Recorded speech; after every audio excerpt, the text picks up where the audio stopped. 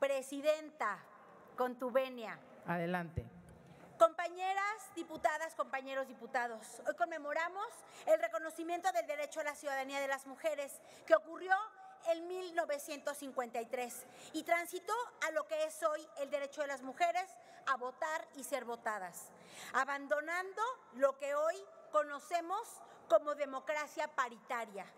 Desde las primeras reformas de la década de los 90 en materia de cuotas de género, transitamos a las históricas reformas constitucionales para instituir la paridad en 2014.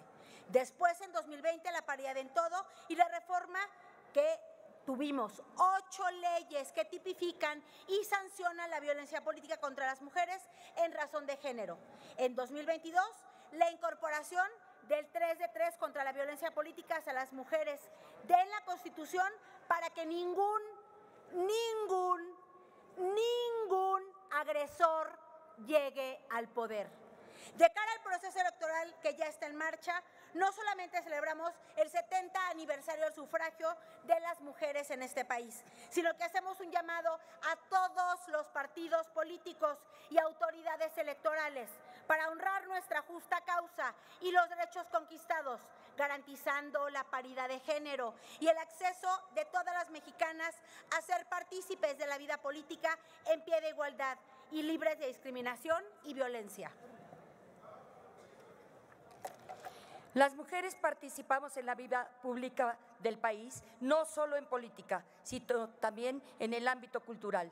Tenemos pendientes presupuestario con la cultura y un pendiente de representación en proyectos artísticos. Tenemos además un enorme pendiente con las mujeres de la diversidad sexual y con quienes se identifican como mujeres y siguen enfrentando discriminación. La voz de las mujeres no es una sola y tenemos que reconocer esa diversidad.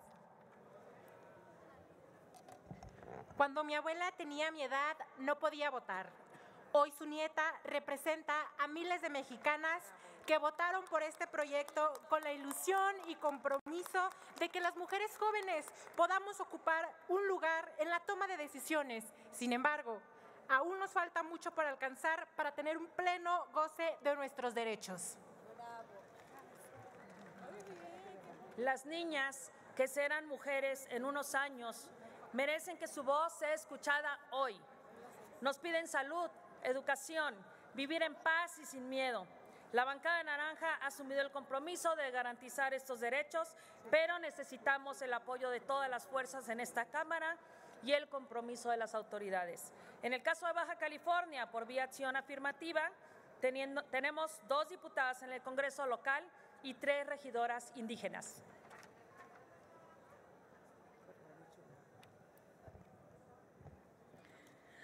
Las mujeres adultas mayores también merecemos una vida plena, merecemos mantener una vida digna, merecemos, ser parte integral de la vida pública y privada, merecemos que se nos reconozca nuestra voluntad y nuestras capacidades, una vida sin discriminación y sin violencia. Lo merecen también las mujeres trabajadoras del hogar para quienes propusimos un seguro de retiro y se sentía en edad avanzada y vejez. ¡Vivan las mujeres! Qué necesario y qué difícil ha sido para tantos reconocer los derechos de las mujeres. No nos han dejado decidir ni siquiera sobre nuestros propios cuerpos. Hoy la Suprema Corte ya reconoció que las mujeres tenemos derecho a decidir si queremos ser madres o no.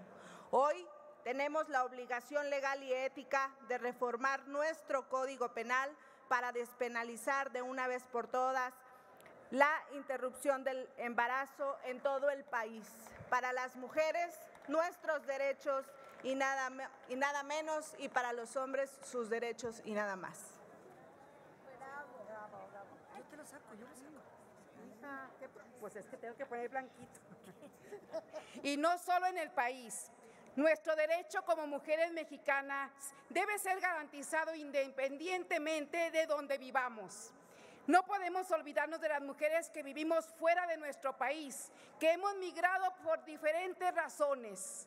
Hoy levanto la voz por todas las mujeres migrantes, mujeres grandiosas, mujeres perseverantes, mujeres exitosas, que hoy merecemos que nuestra voz participe en la vida pública de nuestro país y que se nos reconozcan nuestros derechos plenos como mexicanas residentes en el exterior. En el reconocimiento de la dignidad humana está el reconocimiento de los derechos humanos de las mujeres. Queremos que las mujeres en México tengan acceso a vivir una vida libre de la violencia machista que tanto daño hace a México y al mundo. Tenemos que construir ciudades metropolitanas que sean accesibles y seguras para todas nosotras las mexicanas. Transitar por las noches no puede seguir siendo un riesgo para las mujeres. Y arriba Tlaquepaque, la cual es gobernada por tres periodos de mujeres. Y no solo en las ciudades ocurren las violencias contra las mujeres. Las mujeres indígenas y afromexicanas, las mujeres del campo, son tal vez los grupos más discriminados entre las mujeres. Son ejemplo de fuerza, resistencia ante el rechazo y la exclusión social. Cuando se les han cerrado las puertas oportunidades económicas y sociales de representación y de participación en la vida política, ellas han respondido con una exigencia de dignidad que no hemos podido alcanzar. Es un pendiente más que tenemos que resolver todas y todos. Todos los derechos para todas las personas. Lo hemos dicho una y otra vez desde la bancada naranja aquí en tribuna. Nuestro propósito debe de ser garantizar el acceso a la educación para todas las mujeres mexicanas. Vamos a seguir generando políticas públicas para ofrecer mejores oportunidades educativas.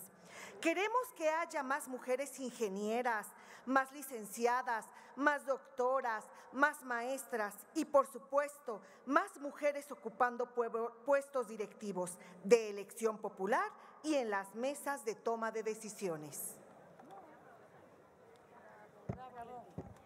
todos los derechos para todas las mujeres y todas las niñas que tienen derecho a no desaparecer, derecho también a las madres buscadoras, derecho a que el Estado use las herramientas, otorgue el acompañamiento y garantía de no repetición ya, derecho a un México donde mujeres y niñas podamos estar seguras y crecer libres, a vivir sin miedo.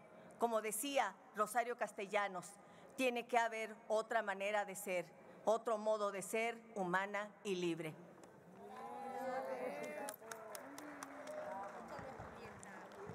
Compañeras y compañeros, hoy es un buen día para que en el colectivo reconozcamos a las mujeres que estuvieron antes y recordemos que la lucha sigue.